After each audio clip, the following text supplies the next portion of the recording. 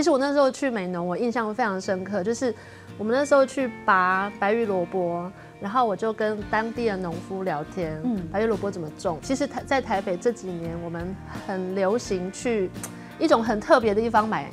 农产品，不一定是去传统市场或是超级市场，嗯，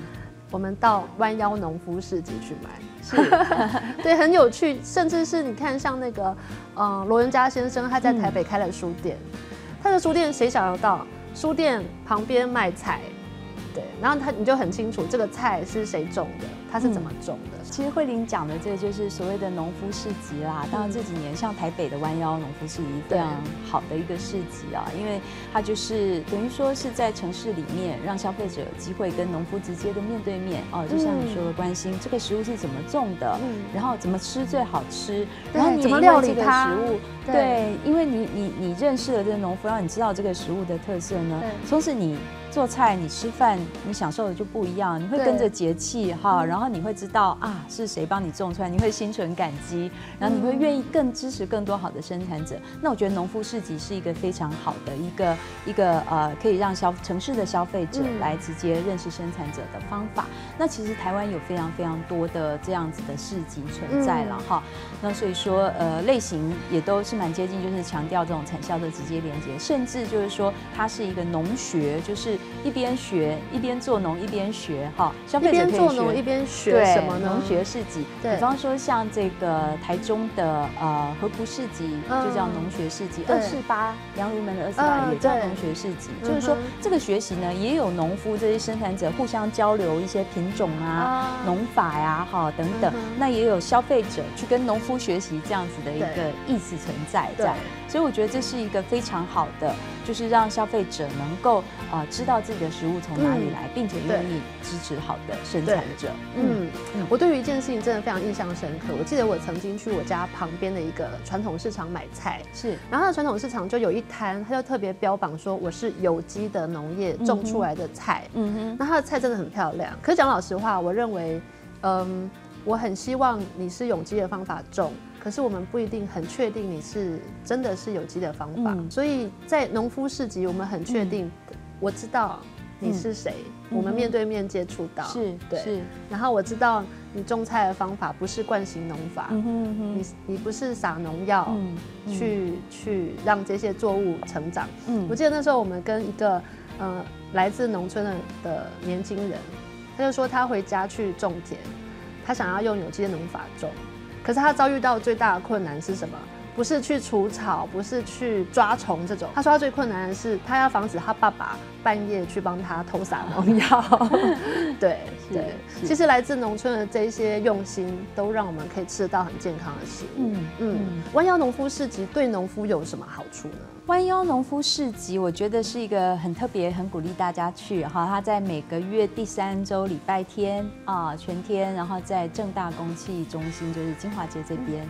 那呃，它独特的地方是说，当然有来自全台的农友哈，特别牺牲假日来这边跟台北的消费者见面。然后它其实有几种不同的类型，比方说它有社会议题型，比方说曾经面临征地的一些呃农村，他们现在重新可以就是保住自己的土地来恢复生产。那又或者说是有这种友善耕作的类型，然后有这种小家庭农场型的，然后也有这种呃绿色生活类的摊位，所以你可以在那里方方面。面看到就是说以农为中心的，连接到饮食，连接到生活哈，然后有非常多的好朋友们可以去认识。然后呢，它也比较特别的是说，其实他们呃，就像你说的，可能有我们一般讲有机，当然有官方的一些认证的，官方跟民间的认证系统。对。可在农夫市集，其实是由市集的管理者，他会定期去拜访这些农田，加入之前要经过一些审核跟送验，然后之后就是说，呃，就是加入之后呢，呃。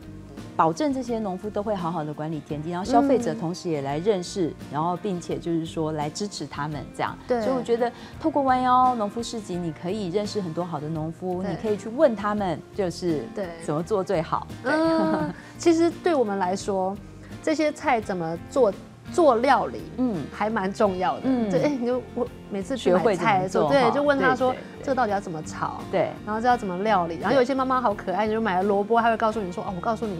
腌萝卜怎么腌？对，那种我觉得是很家常的，可是很代代相传的那种是料理的知识。其实这些市集里面也都有很多是这个农产手做的加工品啊，那真的是保证是妈妈的味道，然后又没有加化学的防腐剂，这样 可以吃的非常安心。嗯，像现在台风季节是，就常常会有一些那种你在。呃，台风都还没有来，菜价就升，或是菜台风之后，菜价会飙涨。是对，嗯，文阳农夫市集是可以让农夫比以比较合理的价格去采收吗？对，其实我觉得，呃，就是。类似像这样子的一个友善耕作的生产方式哦，然后如果说它能够避掉这种过去可能是透过这个大盘、中盘这样的产销系统，那其实价格是比较是在那一端。那小农可能通常没有什么议价的能力，可是如果说是像农夫市集，消费者是直接可以面对农夫直接支持呢，他就可以可以有一个比较平稳的这个价格，所以你反而可能在。这个台风之后呢，你去买有机类的蔬菜，或是直接跟农夫买的话呢，价格其实是搞不好是比外面的市场来的更更平衡的。嗯，其实我们知道有很多台北人也开始加入这样子的。嗯。帮农夫卖的行业，嗯嗯嗯，好像有一个人还蛮可爱的，嗯，直接跟农夫买，嗯，对。其实我们刚刚讲到，除了像在都市里面，然后农用农夫市集直接面对消费者，那大概还有几种，我们都是觉得可以很友善的支持生产者的，包括共同购买，像主妇联盟、呃消费合作社这样，就是呃找一群人支持一群农夫嘛。那你有这样的消费需求，对，然后他们去找到好的生产者，并且用气作的方式，那也所谓的气作就是说会共同分担这个风险，对，那这是一种模式。那呃，慧玲刚刚谈到的直接跟农夫买，我觉得也是近年非常重要的一个方式，因为大家都知道社群媒体，它其实在消息的传播哦，就是跟这个人际网络的连接是很有用、很有益处的。对，那直接跟农夫买，它是呃原生的这个社群媒体啦，好，就是在。粉丝页啊，脸书的粉丝页成立，然后鼓励就是说大家来认识农夫。那如果说有发生一些天灾啦，或者是呃产销崩盘的事情的时候呢，他们就会把好的生产者的这个资料，啊，当然都他们是鼓励友善耕作嘛，把他们的资料呢，或是他们的作物讯息分享出来，然后大家直接去认购。对，那他应该也是成立了呃两三年了，